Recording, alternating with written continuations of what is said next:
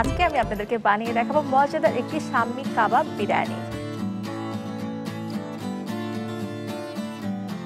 এই বিরিয়ানিটি তৈরি করতে আমাদের লাগছে কাজী ফার্মস কিচেনের সাম্মি কাবাব। এছাড়াও আমাদের লাগছে পেঁয়াজ কুচি, আদা রসুন বাটা, টক দই, কাজী ফার্মস কিচেনের টমেটো কেচাপ, ঘি, ধনে পাতা কুচি, পেঁয়াজ বেরেস্তা, আস্ত কাঁচা মরিচ, লাল মরিচের গুঁড়ো টালা জিরে গুঁড়ো তেল এবং পুদিনা পাতা কুচি।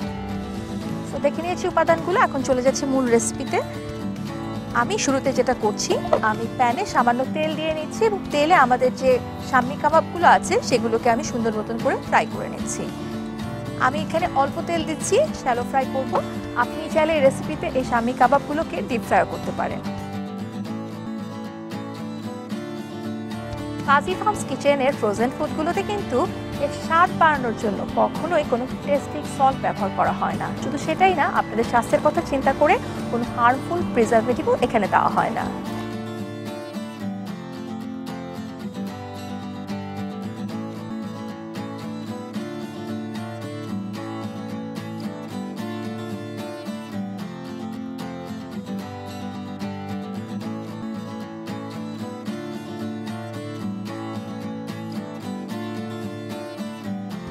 মোটামুটি আমাদের কাবাবগুলো ভাজা হয়ে গেছে, এখন এগুলোকে আমরা তুলে নিচ্ছি।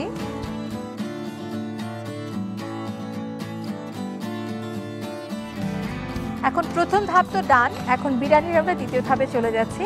এক্ষেত্রে আমি যেটা করে নিচ্ছি, আমাদের এই একই তেলে আমরা তেল অল্প পরিমাণে দিয়েছিলাম, এই একই তেলে আমরা যেটা করব, পেঁয়াজ যেটা আছে সেটাকে শুরুতে একটু হালকা ভেজে নিব।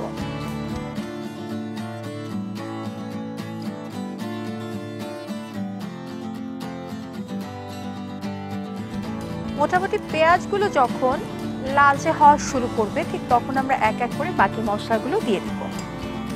শুরুতে দিয়ে দিচ্ছি আদা, রসুন বাটা। দিয়ে দিচ্ছি সামান্য পরিমাণে টক দই। দিয়ে দিচ্ছি কাজী ফার্মস কিচেনের টমেটো কেচাপ।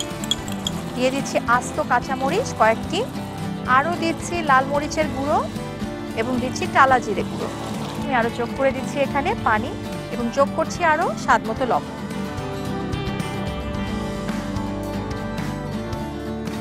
মোটামুটি একবার কষানোর পর আমি এতে যোগ করে দিচ্ছি। আমাদের ভেজে রাখা সে স্বামী কাবাবগুলো।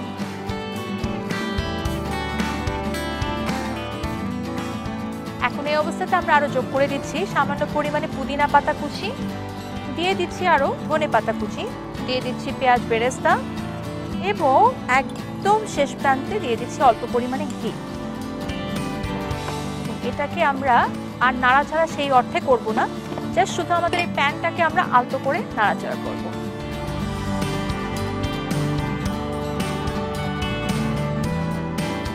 ব্যাস মোটামুটি আমাদের কিন্তু বিরিয়ানির যে মেইন অংশটুকু, সেটা কিন্তু একেবারেই শেষ।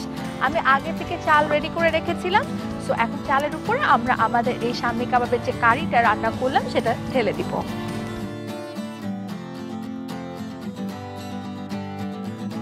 সাধারণত টার্কিশরা এইভাবে করে কিন্তু কাবাব দিয়ে রাইস তৈরি করে খায়।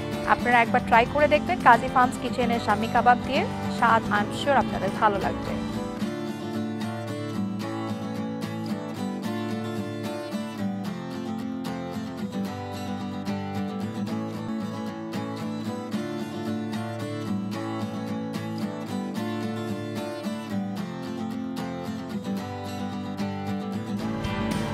একদম উপরে। আমি আবারও দিয়ে দিচ্ছি সামান্য পরিমাণে ধনে পাতা কুচি। দিয়ে দিচ্ছি পুদিনা পাতা কুচি এবং দিয়ে দিচ্ছি আরও পেঁয়াজ বেরেস্তা। বাস, এভাবেই তৈরি হয়ে গেল মজাদার সামনে কাবাব বিরিয়ানি। তো এই ছিল আমাদের আজকের রেসিপি আশা করি আজকের রেসিপিটি আপনাদের ভালো লেগেছে। আসি আগামীকাল আবারও চিত্র টেলিভিশনের পর্দায় নতুন আরেকটি রেসিপি নিয়ে শুধুমাত্র আপনাদের জন্য। সেই রেসিপিটি দেখতে এবং জানতে কাজী ফার্মস কিচেন সহজ ইফতারের সাথেই থাকুন। আল্লাহ হাফেজ।